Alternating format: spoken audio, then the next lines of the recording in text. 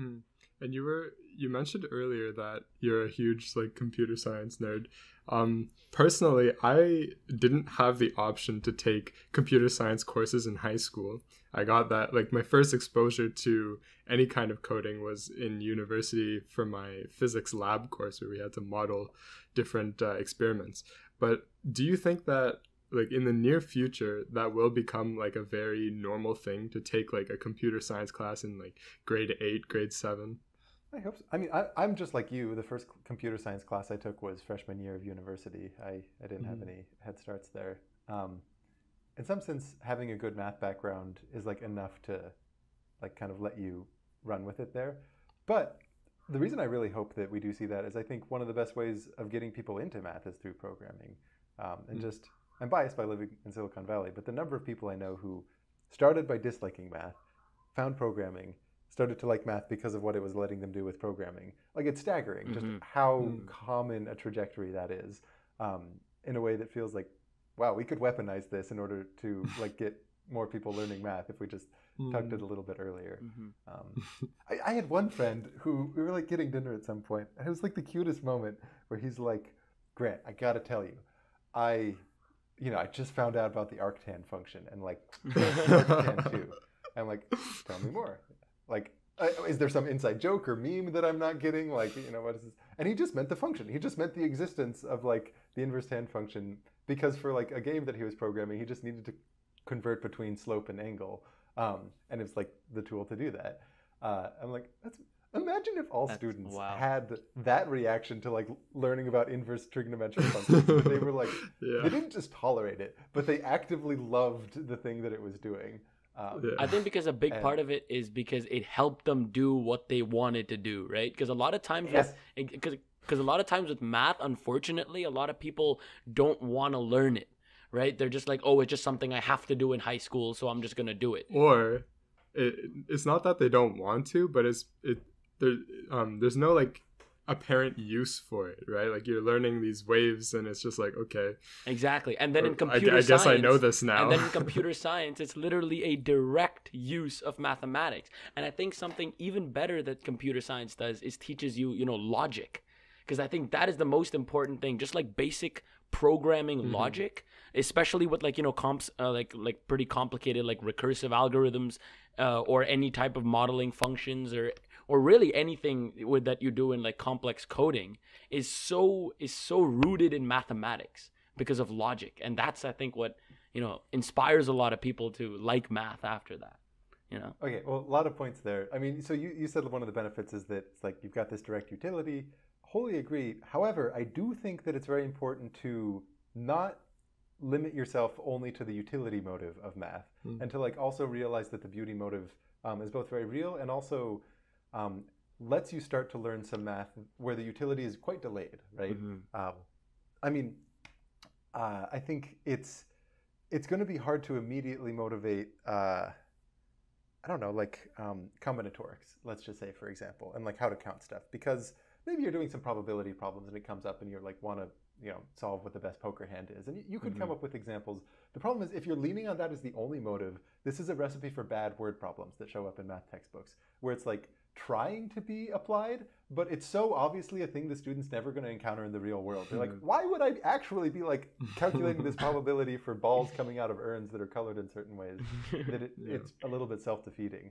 Um, so it's very important, I think, to like acknowledge that sometimes the motive for the people originally studying it was because of the puzzle in and of itself, like the the colliding blocks calculating pi thing that you brought up earlier, right? I think that's a very powerful way to get people to start learning about like momentum transfer and energy and like phase spaces. But it's it's not because of like the direct application there. Like the, the bulb of curiosity came from something else. So you don't you don't want to sacrifice one of the tools just because the application one is so powerful. Um, on the other one, you were saying about how computer science has this value of like teaching you logic. One of the things I most love about it is that it's like you versus the compiler, and mm-hmm. you have to own up to the fact yeah. when yeah. like your logic was not sound. It you you because for that matter, like good essay writing teaches you logic too, and like debate teaches you logic, and there's lots of things mm-hmm. that teach you good logical, rigorous thinking. But when you're a student and you write an essay that's making a case for something, and the grader disagrees with it or they point out logical flaws, there's always room in your mind to say, yeah, but they didn't understand, right? They didn't Mhm. really understand what I was getting at. Mhm. Mhm. But when it's you versus the compiler, you just have to own up to the fact that like you can't really blame the compiler for the fact that it's not running. Like it set out the rules pretty clearly. Like you have to fix a problem in your code um, in a way that doesn't really happen in, in other domains. And the immediate feedback of that, I think, is what can make it so much more powerful than other domains that are equally like rigorous. Like philosophy would be another one. Like we should maybe teach philosophy more in high school because of what it does for rigorous thinking. But it doesn't have it doesn't have a compiler in the same way. So there's too much room for um, uh, plausible misunderstanding on the part of your critic. Mhm. Mm. Especially with that And- compiler there, right? Th- th- There's always the option to immediately check if you're right or wrong and stuff like that. And you know, and, and I think that's that right there is like the biggest advantage of something like that. And also, most people, I think, or at least that I see, or at least my friends who are in computer science, most computer or people who are in computer science are in some way very deeply interested in mathematics. I think that's now a more common thing that Well, I think that's unavoidable though. yeah, I mean that's I guess I guess that that was also brought up, but now it's not only that computer science is bringing people to math, it's also that, you know, because I guess a lot of people are learning computer science in high school now, which is really helpful, that while they're learning it alongside math, it's helping their knowledge and understanding in both. So, you know, it's kind of doing it better for for for both fields. So I think now a lot of computer scientists are also like, you know, part mathematicians. That's Mm. good. And Grant, you also brought up the uh, like the beauty factor versus the application factor, and I I agree that like you know both are obviously very very important, but I I think the application factor is very good as like as like an introduction to get someone into math, right? You, show them like oh this is what you can use all of these tools for, Mhm. and then that just gets them like into the slippery slope and then once they get in they they really get to see like the beauty factor of math it it makes them it makes it easier to hold off on the application factor and to just like enjoy the math for what it is and then when the application comes in it just makes it that much sweeter you know Mhm. all that all that time you spent trying to rigorously like understand what's actually going on and then you're kind of left in the dark and then suddenly you see the light and it's just like wow this is this feels nice I yeah, when when it's done well, that's definitely the the best way. I guess it's